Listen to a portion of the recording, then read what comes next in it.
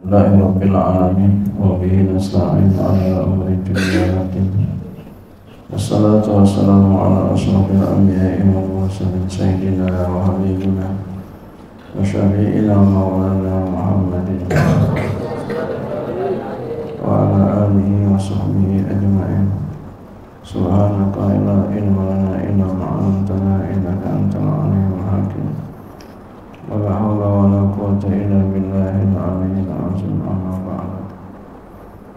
قال المصنف رحمه الله تعالى وأدام نحره ومشيد بني أمين Asani yang kedua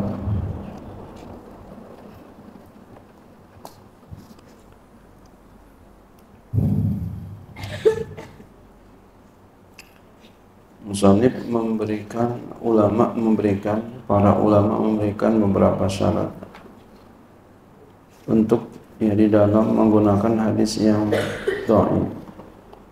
Yang kedua ayan darija tahta aslin ma'mulun bihi. Aslin ma'mulin bihi min usuli syariati. Bahwa berjalan ia hadis dhaif itu dibawa asal yang diamalkan dengannya berdasarkan usul syariat. Jadi ada dasarnya. Syariat fayakhruju ma yukhtara'u bihaitsu la yakun lahu aslan aslun maka keluar oleh sesuatu yang dibuat-buat dengan sekiranya tidak ada baginya pada asal asal ya pada asalnya memang kagak ada asalnya hmm. Enggak ada dasarnya asal itu yang ketiga Allah ya'taqida indal amali bihi subutahu bahwa dia tidak meyakini. Boleh juga alla yu'taqada boleh. Indal amali bihi subutuhu gitu. Kalau yu'taqada bahwa tidak diyakini ketika beramal dengannya akan tetapnya. Ya, kalau mau baca begitu boleh aja bacanya alla ya'taqida indal amali bihi subuh tahu ya. kalau pengen maklum. Bahwa tidak dia meyakini ketika beramal dengan hadis dhaif akan tetapnya.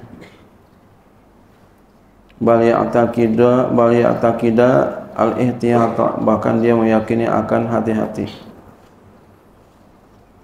Wazalika dan demikian itu li ayyan sibal li ayyan siba li rasul sallallahu alaihi wasallam ma lam yaquluhu supaya dia tidak menisbatkan kepada Rasul sallallahu alaihi wasallam akan apa yang Rasul tidak katakan.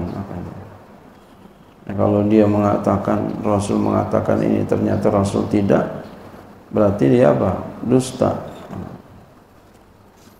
Ya kalau orang berdusta berdasarkan nama Rasul, falyatabawwa maq'adahu minan nar. Hendaklah dia mengambil tempat di tempatnya di neraka. Wahazani syartanil akharani anil Izzuddin ab anil Izzuddin bin Abdussalam wa bin Daqiqin al dakikiddin wa ghairihima. Dua syarat ini yang yang ya ya dua syarat ini wa hadzani syartanil akhirani gitu ya. Dua syarat ini yang akhir dari Izzuddin Ibn Abdissalam dan Dakikil dan Ibni Dakikil Id dan selain keduanya. Qala Az-Zabidi berkata oleh Imam Az-Zabidi al-hadisu dha'ifu huwa ma qasura an darajatil hasani wa an rutbati sahihi bitariqil aula.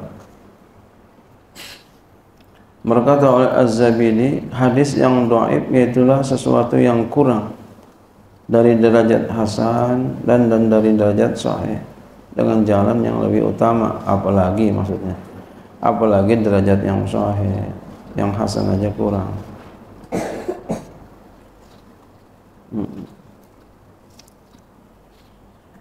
Apalagi tapi ini definisi hemat saya kurang ini. Eh, ini masuk hadis eh, yang terlalu doib nih.